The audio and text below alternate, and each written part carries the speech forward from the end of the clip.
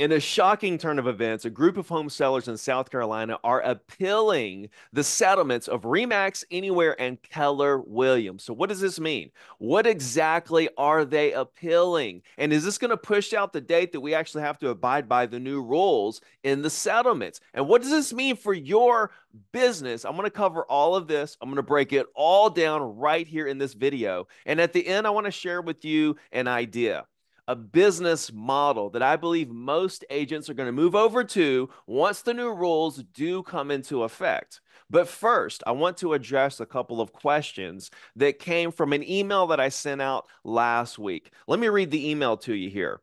Although the new rules being forced on real estate agents on August 17th are unconstitutional through their blockage of home sellers' freedom of speech by preventing them from communicating about offering a buyer agent commission, even if they wish, we can't stop these new rules from coming into effect. Therefore, we must find the silver lining opportunity within this injustice. And here it is. Starting August 17th, we will not show a single home to a buyer without a contract in place stating how much we will be paid. Which means that unless a buyer has signed a piece of paper agreeing to pay us, we will not spend an ounce of energy showing them a house. This will create a new level of efficiency within your individual business and any deals you may lose from the new rules, you will more than make up for with this newfound efficiency we never knew we needed. Leave your fear and anxiety at the door. Welcome the new world with open arms and continue building your business and influence to the moon. As the market rebounds from this suppressed market, with the largest flood of pent up demand that we have ever seen, your business will 10x. God bless. That's the email that I sent out last week. And if you want to join my email list, I'll put a link in the description of this video for you to go do so. I had a lot of responses to this email. I'm going to read two of them to you and address them. Ricky, I'm a little confused by your statement of if buyers have not signed a piece of uh, uh signed a paper agreeing to pay us, we will not show them a home. I thought we were going to be contacting the listing agent to find out if the seller is offering a buyer agent com- compensation. And if they are, then we will show them that home. Could you please comment on this? Thank you. I will comment on this. So, part of the settlement, part of the new rules is that you can't show a home in person or virtually without a buyer agency agreement in place stating your fees right? And that's the biggest difference. A lot of agents say, Oh, I've been doing buyer agency agreements for years now. I've never shown a house without a buyer agency agreement. Great. That's then you're way ahead of the game. But the difference is going to be that on this buyer agency agreement in the new world, it's going to state what your commission is. It's also going to state that if the seller does not pay that, right? If they don't agree to that, you know, if they haven't already a, a predetermined amount that they want to uh, pay or uh, that they're offering, or if we can't get it negotiated into the deal, you, Mr. or Mrs. Buyer, will be paying that. That's what this new agreement is going to say. So it's great that you've been doing it, but it's going to be a little different moving forward. Yes. So it's going to be mandatory that they sign this piece of paper saying that if the seller doesn't is doesn't pay us, then you're going to pay us. Um, and you, you know, we have to have that signed before we show a house. We will still reach out to the listing agent to see if they are in fact offering a buyer agent commission.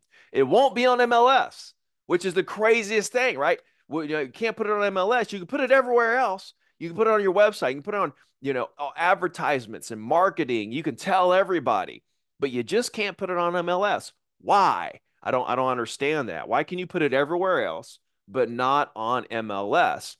This is strange times we're moving into.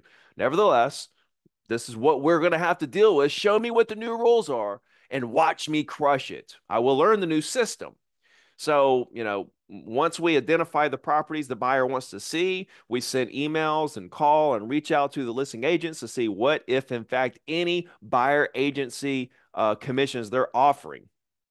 Okay, that addresses that question. Another statement here was what buyer is going to want to afford want or afford to pay a buyer agent commission.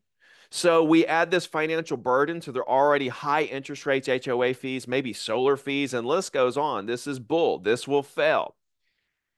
Yes, no buyer is going to want to afford it. Do they want to pay for a lawyer when they go to court? No, but they do it. Why? Because they need it. And I think that as time goes on, there's the argument that buyers don't need agents. And I think that as time goes on and you take agency away from some of these buyers that go directly to the listing agents, they're going to find out real quickly it's the same thing as going into court with no lawyer. Um, that wasn't actually the one I wanted to share right here. This is the one I wanted to share. What happens to that very nice, well intentioned first time buyer, right? First time home buyer who just can't afford to pay anything right? They can barely pay closing costs. Would love your thoughts on this. Here's my thoughts on this. Those buyers are the exact buyers that this these policies are going to hurt the most.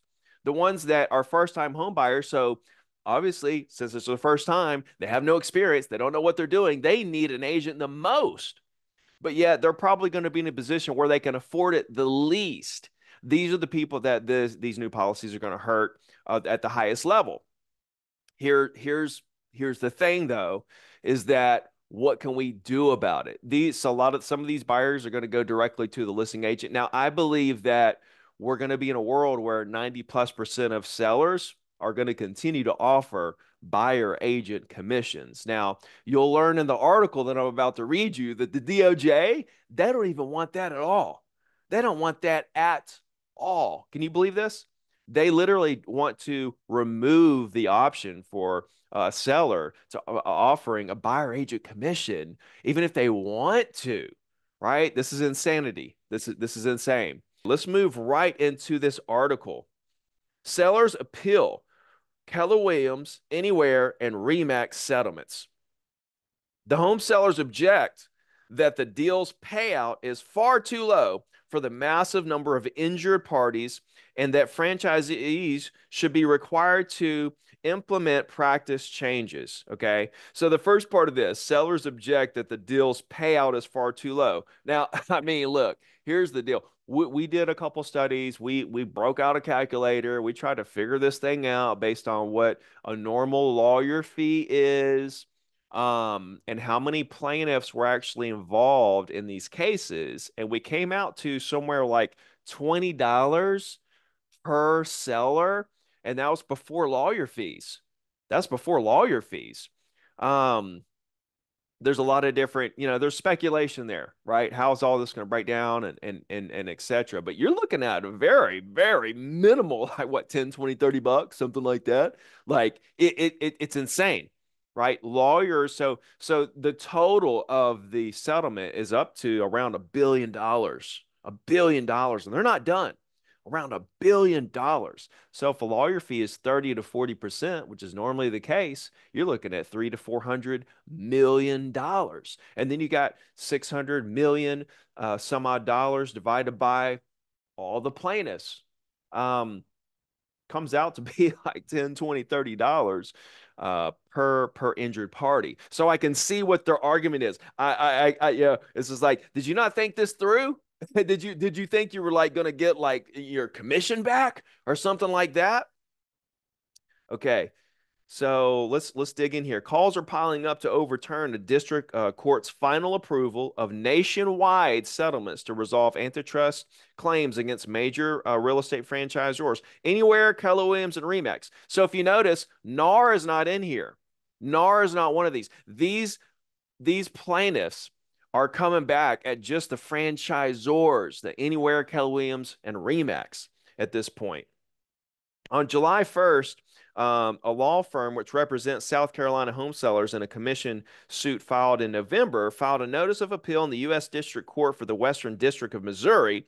The notice informed the court that the firm's clients, home sellers, and it says the names of the home sellers there, there's four of them, would look into the Eighth uh, U.S. Circuit Court of Appeals to reserve a decision from the judge of the, and this is Judge Stephen Bough. This is uh, the judge from the Sitzer Burnett trial, granting he granted approval of these uh, these settlements on May 9th.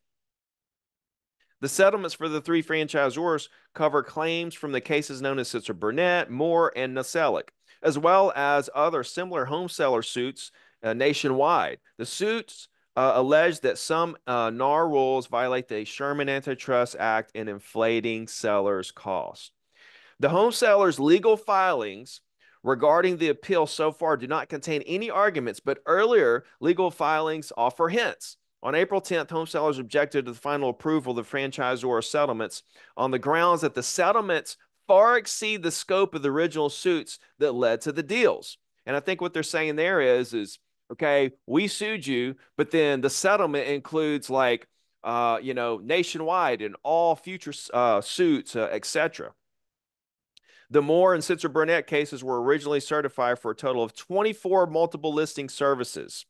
Okay. This settlement attempts to expand that class certification to more than 600 MLSs around the country. This, despite the fact that the real estate is at its base local. Many of those 600 uh, MLSs operate and enforce the rules differently from other MLSs, even within the same state, let alone across the country. It is also easy to conflate the illegal activity of these MLSs engaged in with the means by which it was accomplished. These MLSs may have used many of the same rules, but often enforced them in various ways. The participants of these MLSs took part in fixing prices for commissions. The actual legal act, the actual illegal activity, using rules adopted for its particular MLS through they may uh, have used similar instrumentalities to do it the South Carolina home sellers. So this is only four home sellers that are actually appealing this, right? They also object that the combined settlement amount among the three franchisors over 200 million 208 million is far too low to adequately compensate for the massive number of injured parties here well the thing that they don't get is is that you know this has been agreed on this has been approved by a judge and if they, and they only have so much cash right? The the the franchisors only have so much cash. So once you get to a certain point, they're out of business and and and they they can file bankruptcy. That doesn't protect them for any future litigation, right? So there's a lot of things at play here. The filing stresses that the plaintiffs in the, in the Moore, Burnett cases should not be able to hin, hinder other absent class members' ability to try their own cases. Plaintiffs in these cases have bargained away rights of the citizens of other states in order to ensure that their own cases were settled. Their own clients received compensation at trial and their own fees at the expenses of trial paid, the filing reads, right? Uh, basically saying that the plaintiffs in the case that agreed to the settlement, they basically bargained away the rights of all the other citizens in other states to ensure that their cases were settled. And we have a statement from Michael Ketchmark uh, here in, in a few moments. They did not conduct even the barest of discovery into the conduct of this conspiracy in other states because they could not. Yet it's their contention that the 208 uh, uh, million five hundred thousand is sufficient to make whole absent class members in radically different circumstances and radically different conspiratorial environments. The home sellers also objected to the deal's release of franchisees from liability without requiring them to pay anything to the people they allegedly harm or change anything about their practices. Let's think about that for a second. The home sellers also objected to the deal's uh, release of franchisees from liability without requ- so so no more liability without requiring them to pay anything to the people they allegedly harmed, right? Which basically they're being released of which thing they're being released of liability in other states right? Without requiring to pay any any of the people of any future suits, right? Or change anything about their practices.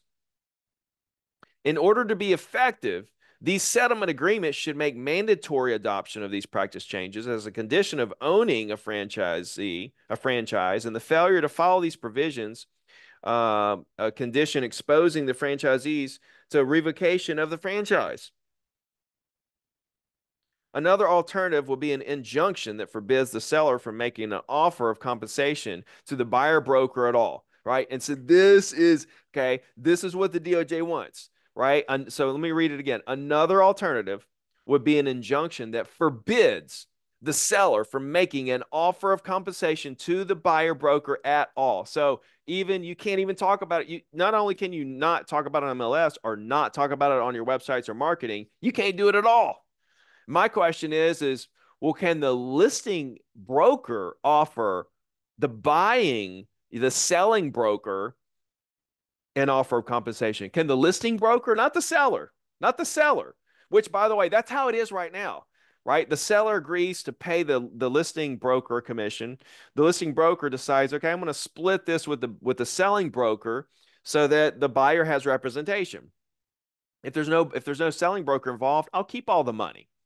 Um, that's the way it's done. The the seller is paying this fee, five percent, let's say, for the sake of argument, regardless if there's a buyer, uh, a selling broker involved or not. Okay. So moving forward, and because they documented that the seller's paying it on the HUD, that's the loophole these lawyers found. So my question is, can we just change the way that we document um, the way buyer agent uh, commissions are paid and have it coming from the listing broker out of the listing broker's commission that the seller agreed to pay the listing broker?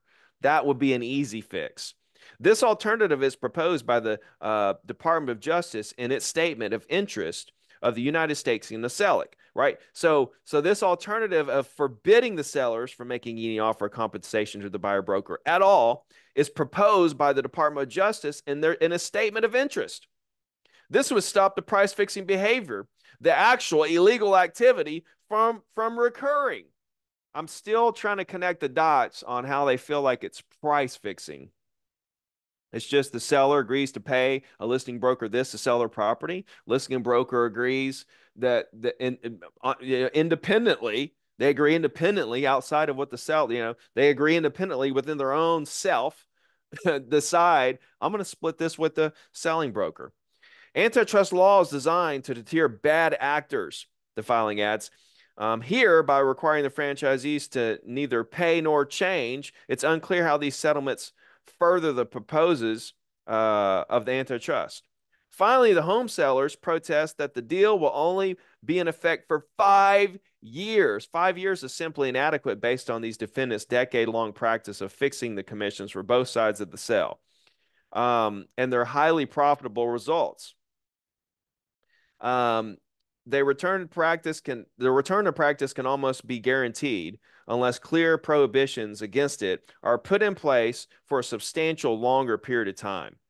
The history of this industry shows an incorrigible um, predilection of the fixing of commissions. The objections echo those made by another home seller who three weeks ago filed an appeal of the settlement's final approval. A home buyer also filed an appeal against the ruling. Since entering into the settlement in 2020, uh, October 23, Remax has been committed to obtaining final court approval, releasing all U.S. Remax broker owners and affiliates from the claims in the, in the Burnett, uh, Moore, and the cases. This is a Remax spokesperson. Uh, Remax is pleased the district court granted final approval in May. That said, appeals of uh, of the older of the order are neither usual, unusual, or unexpected. They expected this to happen. Okay, Remax will continue to vigorously defend the settlement during the appeal process. Ultimately, the company believes the settlement is fair and reasonable and that the district courts should be upheld. Michael Ketchmark of Ketchmark, you know, and and uh lead plaintiffs counsel in the Sitzer Burnett expressed optimism that the appeals court would reject the challenges to the deal. We have reviewed the appeals, and there's no surprises, Ketchmark told uh, Inman in a statement. We expect to win all appeals. The settlements will stand. Changes finally here. Keller Williams declined to comment. Anywhere did not respond.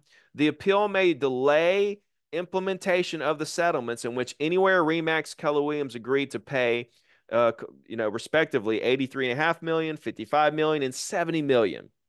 No one in the settlement cases who has made a claim will receive payment until uh, any appeals have been resolved. So by making the appeal, they're prolonging getting paid out on these, and I guarantee you that's why Michael Ketchmark, you know, uh, you know, is optimistic that these uh, that that the that this appeal will be rejected. They're ready to get this over with and behind them and paid out. The franchisors are also not required to implement the business practices changes they agreed to until the final appeals process. So the franchisors are not required to implement business practice changes they agreed to until the appeal process is over, when the settlement will become effective. These changes include no longer requiring franchisees and their affiliated agents to join or be a member of the National Association of Realtors or follow the Realtor Code of Ethics or NAR's multiple listing service uh, policy handbook. So basically, it's not going to change when the rules come into effect for your local MLS. Okay. So, boom, there it is. August 17th is still the date that you, regardless if you're with Remax Anywhere, any whatever company you're with, you're going to have to abide by these rules when your local MLS starts to come into effect. My local MLS is August 17th. I think most MLSs are August 17th. There have been some variations of some different dates because it's not like it's mandatory August 17th. I think they I believe that they have till September 16th for everybody to fall in line. I think there are also some MLSs that have already started to implement the new uh, the new rules. Uh, my local MLS is August 17th. That that that the buyer agent commission will be removed from MLS, and that we will have new forms that we don't have yet they're still working on the new forms, the new the new agreements, right? The buyer agency agreement. Um, are, and, and obviously we're going to have a new listing agreement, probably a new purchase agreement as well. All new forms, all new forms, right? So that is, you know, where we are on this. This is um, you know, why they're appealing, what the process looks like, and what it means for your business is this. It don't mean much. All the rules are going to come into effect. I want to share with you an idea here, a business model, and I really want you to think about this. Okay. But but just going back to how it affects your business, remember the reason why we're keeping so in tune with this and making sure that we're on top of of, of this story and, and where everything's going and any breaking news of it is not because we're worried that this is going to take our business down. Remember this. We're not becoming educated because we're out of fear oh let's make sure we know that way we can foresee the uh, uh, you know the cliff and that way we don't fall off we're not caught off guard. When we go out of business you're not going to go out of business. The, the, you have to take this and you have to see there's always two two ways to look at something.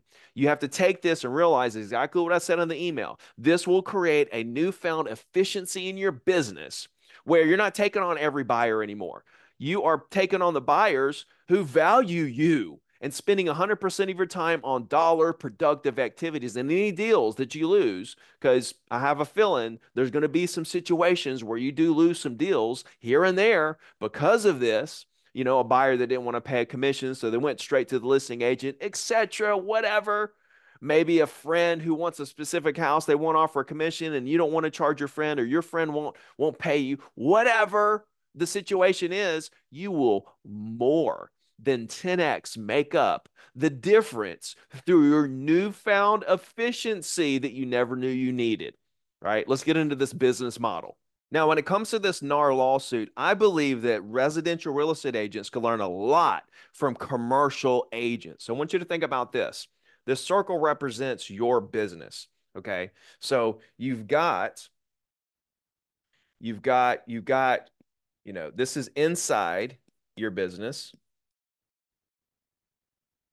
And then you've got everything that's outside your business. Now, what does this mean? What is inside? What is outside? Okay. So, inside your business, you've got buyers, you've got sellers, you have more buyers, you have more sellers. And these are all sellers and buyers that you have found and you are working with. Okay? These are all these are all buyers and sellers that you are working with. Okay? On the outside, you've got buyers and sellers that other agents are working with. Now, there's a lot more buyers and sellers in the market that you're not working with than you are working with. Okay. And I think one of the biggest problems and something we've really gotten away from over time is the fact that agents are doing 50% of their job. They're doing 50% of their job. What does that mean? It means that they go find a buyer and then they what? Wait on another agent to find the seller.